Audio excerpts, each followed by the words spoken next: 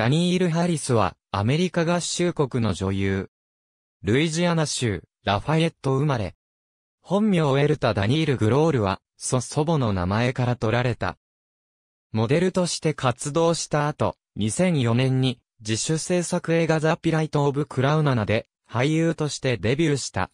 恋するマンハッタンなどへの客演や短編映画及びオリジナルビデオ作品での出演を経て、ワンツリーヒルでレイチェル・ガッティーノを演じた。2010年5月ジェンセン・アクレスと結婚。挙式はテキサス州ダラスで行われ、ダニールはクラシックスタイルの白のストラップレスのウェディングドレスを着た。その後はダニール・アクレスを名乗る。2013年5月30日に女児を出産した。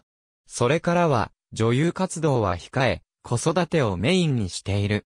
2020年10月、夫のジェンセン・アクレスと共に制作会社、カオスマシンプロダクションズを設立し、ワーナーブラザースと独占契約を結んだ。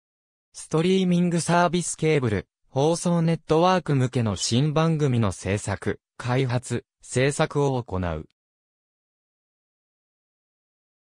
テキサス州、ドリッピングスプリングスにある、ファミリービジネスビールカンパニー醸造所の共同経営者で、夫と義理の両親と一緒に経営している。醸造所の名前は、スーパーナチュラルから命名された。ありがとうございます。